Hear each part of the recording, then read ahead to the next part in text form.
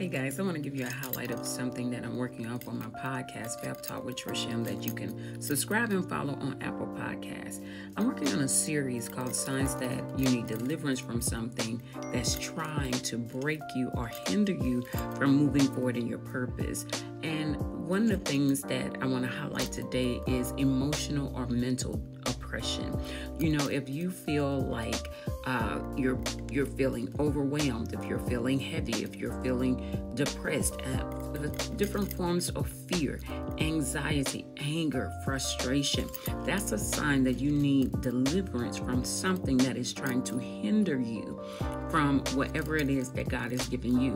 God has not given us a spirit of fear, but of power, love, and a sound mind. When we allow anxiety, when we allow stress, when we allow our emotions to take over, that means that we are allowing something to hinder the next move of God. God moves by the Spirit. When we move out of our emotions, we make mistakes. God tells us in His Word that those that come to Him must come to Him in spirit and in truth. We can't come to God in truth if we're in emotional wreck. You know why? Because our emotions will trick us into thinking that things aren't going to happen, that you'll never be this, or you won't be able to do that, or you don't have enough of this.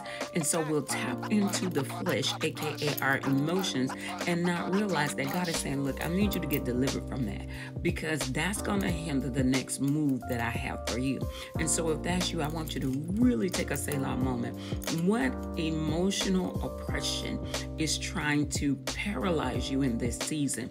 Whatever that is, you have to say, Get thee behind me because it is a trick of the enemy that's trying to stop you dead in your tracks from being and doing what and who God has called you to be and do. All right? Y'all remember that.